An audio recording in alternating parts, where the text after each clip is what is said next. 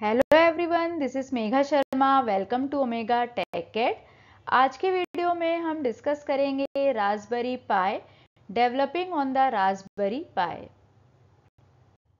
what is Raspberry Pi शुरुआत में बहुत सारी कंप्यूटर कंपनीज़ ने फ्रूट के नेम यूज़ किए, जैसे कि एप्पल एप्रीकोट तो रास्पबेरी पाई के क्रिएटर ने भी सेम ट्रेडिशन फॉलो किया। उन्होंने रास्पबेरी चूज़ किया एंड पाई जो है वो शॉर्ट फॉर्म है पाइथन का।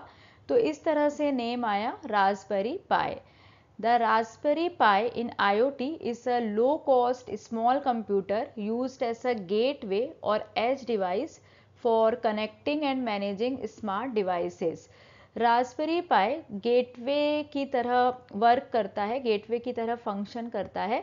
ये मल्टीपल सेंसर्स और डिवाइस से डेटा कलेक्ट करता है और उसे क्लाउड प्लेटफॉर्म पे सेंड करता है।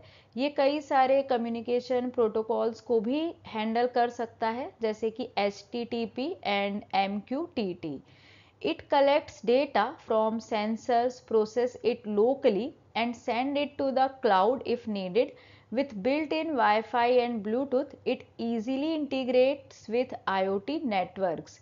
तो ये जो है रास्पबेरी पाए जो है वो इजीली वैरायटी ऑफ़ सेंसर्स से कनेक्ट हो जाता है। सेंसर्स अलग अलग टाइप के होते हैं जिनके बारे में डिटेल में हम प्रीवियस वीडियो में पढ़ चुके हैं। अगर आपने वो वीडियो नहीं देखी है तो आप आई बटन पे क्लिक करके उस वीडियो को देख सकते हैं। तो रास्पबेरी पाई जो होता है, उसमें जी पी आई ओ पिंस होते हैं general purpose input output pins होते हैं, जिनकी हेल्प से हम सेंसर्स को इजीली कनेक्ट कर लेते हैं और डेटा कलेक्ट करते हैं। तो ये परफेक्ट होते हैं रियल टाइम डेटा को कलेक्ट करने के लिए। इसमें बिल्ट इन वाईफाई और ब्लूटूथ होता है, जिसकी वजह से हम इसे ईजीली आईओटी नेटवर्क के साथ इंटीग्रेट कर सकते हैं। It's programmable, supports various IoT protocols and is ideal for applications like smart home, environmental monitoring and industrial automations. तो यहाँ पे लिनक्स बेस्ड ऑपरेटिंग सिस्टम होता है और ये सपोर्ट करता है कई सारे प्रोग्रामिंग लैंग्वेज को जैसे कि पाइथन और पाइथन हम इसमें यूज़ करते हैं जो कि इसे बहुत ही ईजी बनाता है। डेवलपर के लिए इसे यूज़ करना ईजी हो जाता है, क्योंकि वो आईओटी एप्लीकेशंस को पाइथन में ईजीली लिख सकते हैं और उसकी हेल्प से हार्डवेयर डिवाइसेस को कंट्रोल कर सकते हैं। तो बहुत सारे एप्लीकेशंस में ये यूज़ होता है, जैसे कि स्मार्ट होम्स में होम ऑटोमेशन में, जहाँ पे हम होम डिवाइसेस को कंट्रोल कर सकते हैं मॉनिटर कर सकते हैं। इसके अलावा हेल्थ केयर में यूज़ होता है, जहाँ पे हम हेल्थ मॉनिटर करते हैं। इन्वायरमेंटल मॉनिटरिंग में भी इसका यूज़ होता है, जहाँ पे हम एयर क्वालिटी मॉनिटर करते हैं पोल्यूशन लेवल मॉनिटर कर सकते हैं। Its affordability and flexibility make it popular for IoT development and deployment ये अफोर्डेबल है। अफोर्डेबल मतलब कि लो कॉस्ट होता है। ये कॉस्टली नहीं है, इसीलिए इसे ईजीली कहीं पे भी यूज़ किया जा सकता है, जहाँ पे हमें लार्ज डिवाइसेस की ज़रूरत होती है, वहाँ पे भी हम इसे यूज़ कर सकते हैं।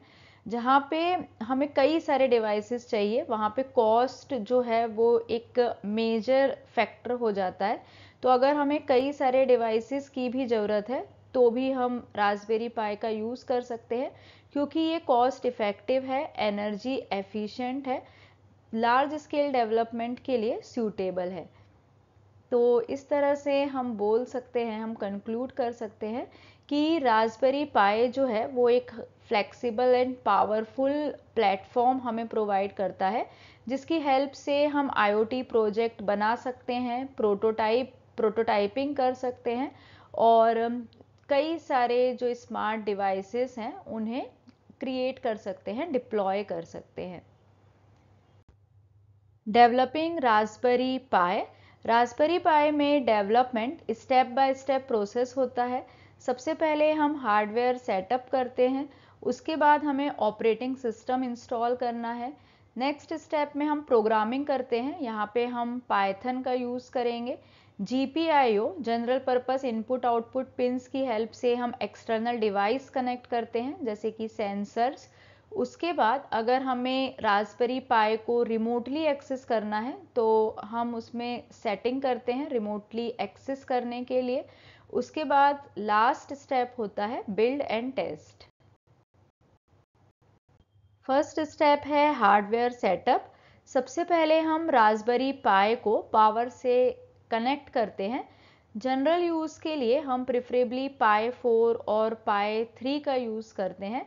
और जो रिकमेंडेड पावर सप्लाई है, वो है फाइव वोल्ट और करंट सप्लाई है थ्री एम्पियर मतलब कि जो पावर सप्लाई है, वो फाइव वोल्ट होना चाहिए और जो करंट सप्लाई है, वो थ्री एम्पियर होना चाहिए. इसके अलावा माइक्रो एसडी कार्ड जो कि सिक्सटीन जी का रिकमेंडेड है micro SD card sixteen G होना चाहिए.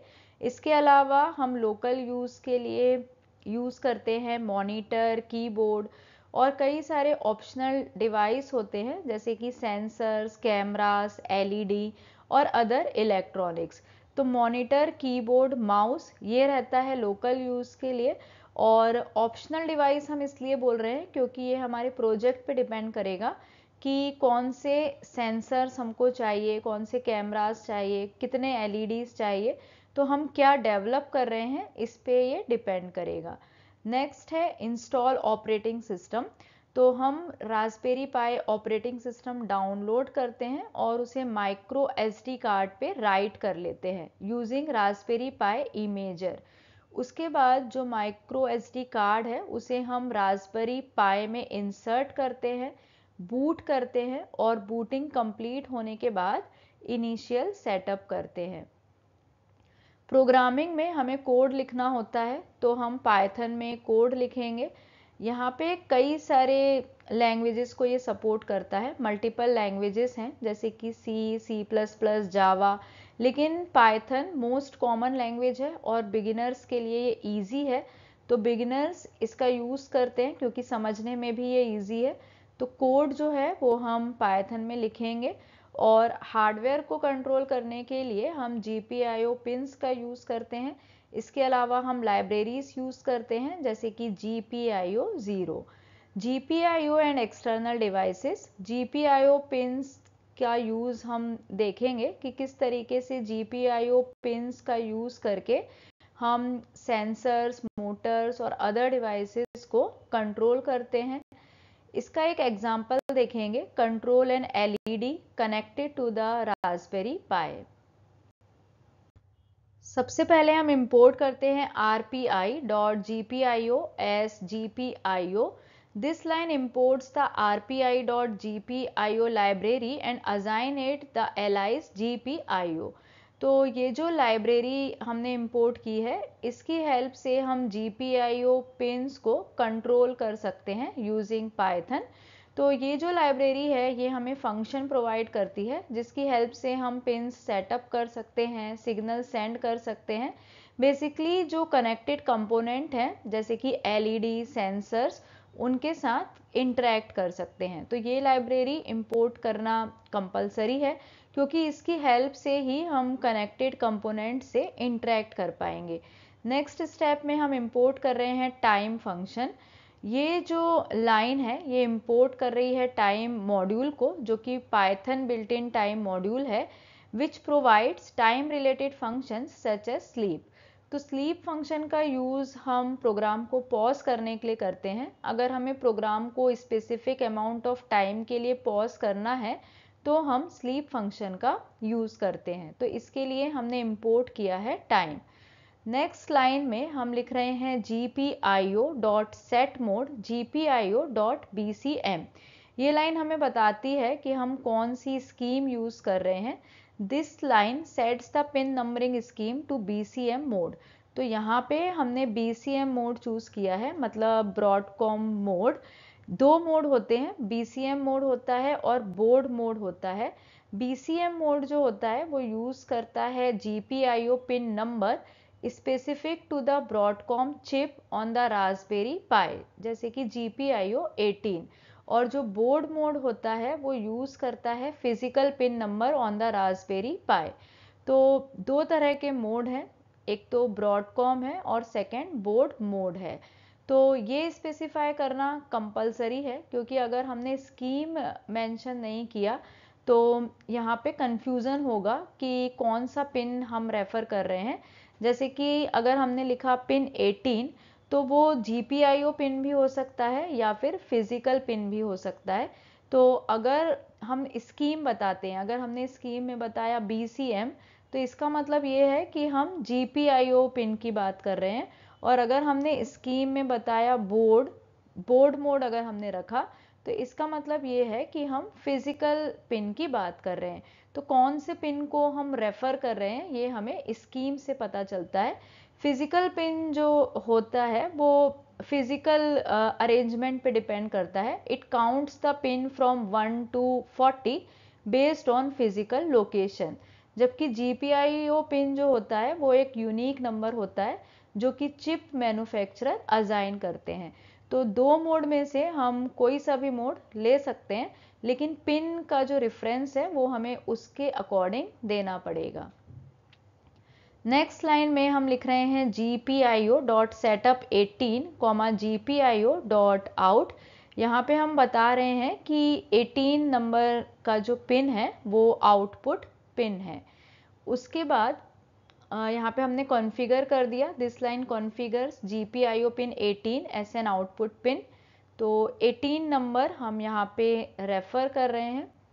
उसके बाद हमें एलईडी ब्लिंक करनी है। तो लूप का यूज़ करेंगे फॉर आई इन रेंज 5 तो 5 टाइम्स ये लूप रिपीट होगा। उसके बाद हमने लिखा है G P I O dot output eighteen comma G P I O dot high ये जो लाइन है, ये G P I O pin 18 को हाई सेट करेगी मतलब कि लाइट ऑन होगी। उसके बाद हम टाइम डॉट स्लीप वन ये लिख रहे हैं मतलब यहाँ पे हमने स्लीप फ़ंक्शन का यूज़ किया, जिससे कि हमारा जो प्रोग्राम है, वो वन सेकेंड के लिए पॉज होगा to keep the LED on तो ये हमारी जो एलईडी है, वो वन सेकेंड के लिए ऑन रहेगी। इसके बाद हम लो लिख रहे हैं मतलब कि ये जो लाइन है ये सेट कर रही है G P I O pin 18 to low जिससे कि पावर कट होगा मतलब कि एलईडी ऑफ़ हो जाएगी। एक बार और हम स्लीप फ़ंक्शन का यूज़ करेंगे प्रोग्राम को वन सेकेंड के लिए पॉज करेंगे। और लास्ट में हम लिखते हैं G P I O dot clean up ये जो लाइन है, ये G P I O settings को रीसेट कर देगी। तो इस तरह से ये एक सिंपल प्रोग्राम है, जिसमें हम एलईडी को ब्लिंक कर रहे हैं। और प्रोग्राम बहुत ही सिंपल है। यहाँ पे हमने फाइव टाइम्स ये लूप रन किया है। तो फाइव टाइम्स जो हमारी एलईडी है, वो ऑन और ऑफ़ होगी। अगर हमें रासबेरी पाई को रिमोटली एक्सेस करना है तो उसके लिए हमें एसएसएच और वीएनसी इनेबल करना होगा। फ़र्स्ट स्टेप है स्टार्ट मेनू ओपन करना है।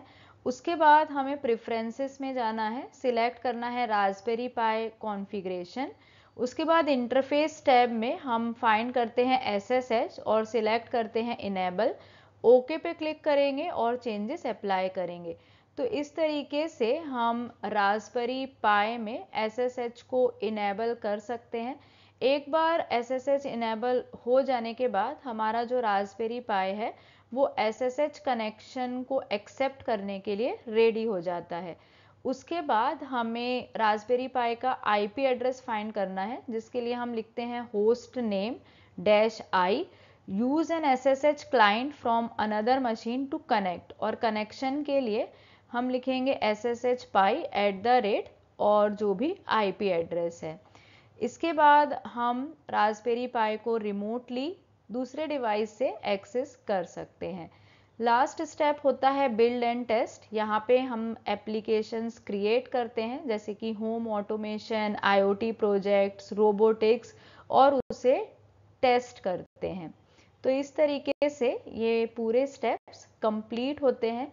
यहाँ पे हमने सीखा कि किस तरह से हम रासबेरी पाई में डेवलपमेंट करते हैं। नेक्स्ट वीडियो में हम देखेंगे difference between Raspberry Pi and Arduino. Thank you so much for watching till here. अगर आपको वीडियो यूज़फुल और इन्फॉर्मेटिव लगती है तो प्लीज़ वीडियो को लाइक करें, ज़्यादा से ज़्यादा शेयर करें। और अगर आपने अब तक चैनल को सब्सक्राइब नहीं किया है तो चैनल को सब्सक्राइब करें और वीडियो की सबसे पहले नोटिफिकेशन के लिए बेल आइकन प्रेस करें।